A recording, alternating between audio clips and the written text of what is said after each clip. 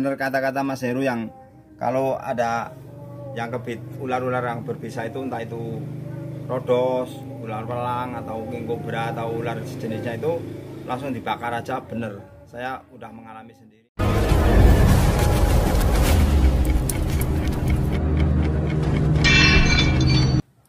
Oke teman-teman, ini kejadian yang tidak kita inginkan kemarin ke bit eh, rodostoma atau ular gibuk atau ranjau darat dan ini perbandingan teman-teman yang dulu saya kegigit eh, red boyga itu pas edukasi di Banjarnegara di Polis Teknik juga ada Dewa Wiro juga sama teman-teman Akiba.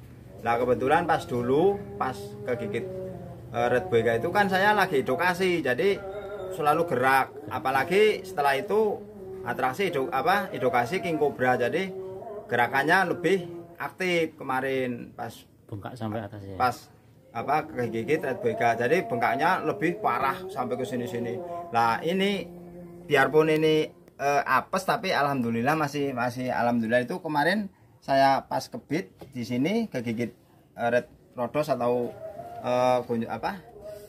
Ranjau darat ini saya langsung diem. Karena saya tahu kalau itu lebih lebih mematikan dan lebih tinggi Pak.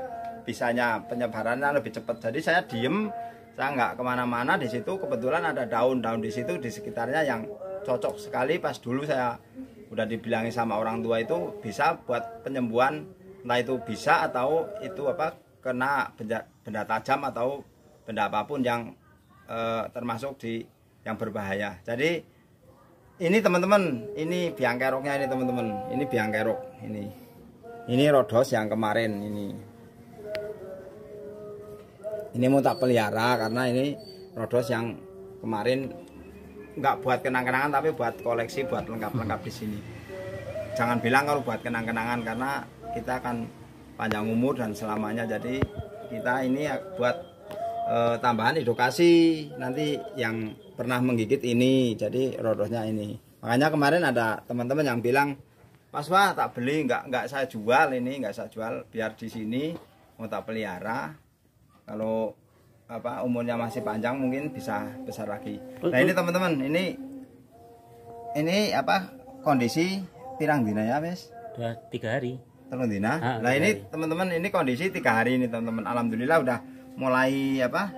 Mulai kempes, nggak terlalu besar, nggak terlalu gemuk. Ini bengkaknya juga agak berkurang tapi juga merambat ke sini. Dan kenapa teman-teman nggak kayak orang-orang lain itu? Alhamdulillah saya punya ini daun-daunan ini teman-teman. Ini daun-daunan ini alhamdulillah mujarab sekali karena saya percaya orang-orang dulu itu nggak ada obat lain selain daun-daun yang ada di hutan itu. Jadi saya manfaatkan eh, ingat orang-orang dulu itu pakai daun-daun di situ. Jadi ramuan-ramuan itu saya masih ingat sekali dan juga saya alhamdulillah tiap hari ini makan ini makan biji. Mahoni sederhana teman-teman. Buat eh, teman-teman yang di sana mohon maaf kalau mainan ular-ular yang berbisa itu harus hati-hati. Apalagi kalau herping atau mau buat konten-konten di alam liar itu harus hati-hati. Jangan sembarangan. Saya yang tahu sendiri yang di alam. Jadi saya kemarin ceroboh dan nggak me- apa mena- meng- me- mengatur peraturan lah intinya mengikuti peraturan jadi saya pakai sepatu pendek dan sepatu pendek itu sangat berbahaya buat eh, keamanan di alam liar ya oke teman-teman ini lihat sendiri teman-teman saya nggak oh iya pak yang apa bekas dibakar kemarin mana pak Nah iki ngarep iki. Pengelembungnya Ini, ya? Oh, sampai Ini ini, sampai pating pirut ini teman-teman. Ini kalau dibuka bekas, bersihin. bekas dibakar ya Oh, bekas yang dibakar Karena kemarin api. itu sama api itu pating cempirut. Caranya Berkerut. pating kerut-kerut ini. Tapi keluar saya keluar air nggak pak keluar air, airnya air kuning. Nah, ini teman-teman, ini airnya kayak gini, teman-teman. Jadi saya pelan-pelan tak turunin itu. Jadi di apa? di pijat pelan-pelan sampai ke ke bawah itu ke tempat yang saya lukai di sebelahnya sini. Jadi keluar air-air kuning, air kuning sama air itu ah, apa? kayak getih-getih itu kayak apa darah.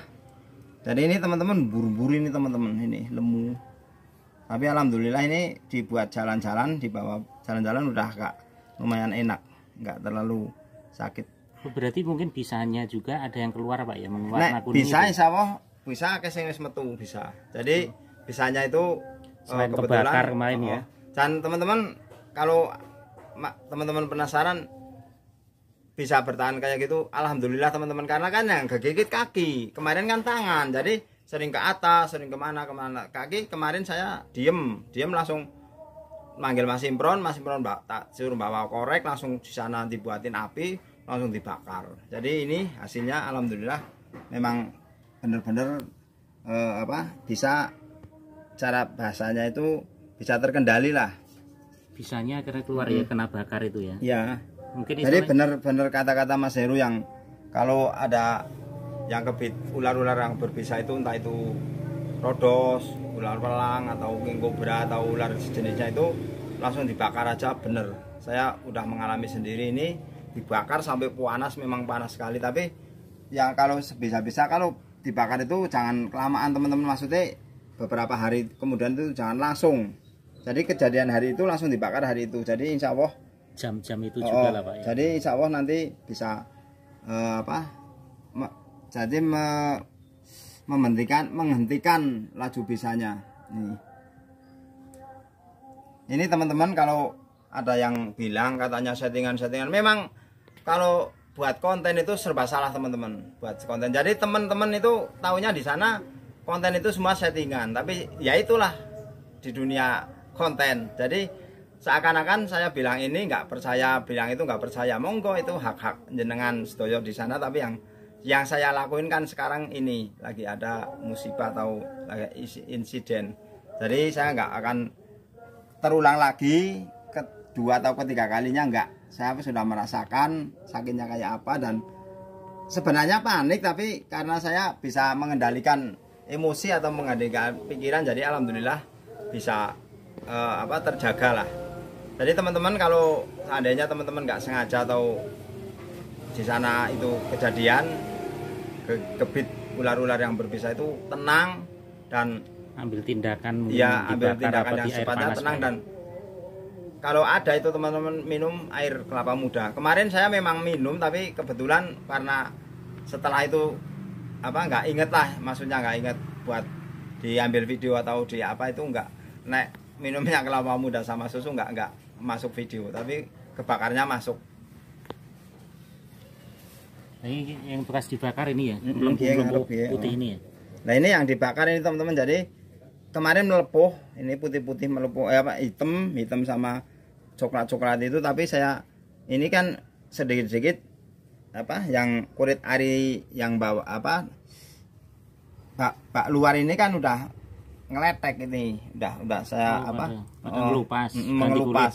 jadi mengelupas. Ini kalau dibersihin ini ini pengkirut-pengkirut ini teman-teman. Paling cempirut ini. Ini kalau dipelodot ini keluar langsung. Kemarin kapuk satu itu wadah itu hampir hampir habis. Buat ngebersihin Oh, itu ya? tak buat bersihin ini. Jadi warna airnya apa yang pak? kuning. Kuning. Warnanya kuning oh, kuning. Kuning. Kental apa cair oh, gitu? kuning ya. Kuning yang anak kaya pakai jijeni lah jenenge. Ini teman-teman alhamdulillah berkat doa teman-teman yang di sana alhamdulillah saya alhamdulillah kakinya masih bisa diselamatkan lagi ini. Jadi eh, bisa teman-teman petualang lagi pak ya? Ya kemarin kemarin saya udah berapa bulan mau pray lah nggak petualang tapi alhamdulillah karena ini tiga hari udah udah apa udah waras lah. Udah mendingan ya? mendingan ini. Cuma masih gemuk masih apa lemu tapi ini udah itu. Malah ada yang bilang katanya saya ke, di setengah tahun masa di tengah tahun kayak sampai kayak gini sampai apa itu. Nah teman-teman itu lokasi yang di pas ada rodosnya itu saya memang nggak nggak tahu kalau di situ ada rodos teman-teman. Jadi makanya saya cari biawak. Itu biawaknya tak pulang tak timbang itu 9 kilo teman-teman. Jadi gede biawaknya. Masih ada belum tak eh, apa di ke mana-mana. Masih saya kakinya masih ini sih kayak gini jadi Hmm. belum tiga apa-apain Nah, Pokoknya teman-teman jangan tiru adegan-adegan yang sangat berbahaya karena sangat fatal sekali kalau kegigit atau apa itu kena rodos itu harus eh, cepat-cepat.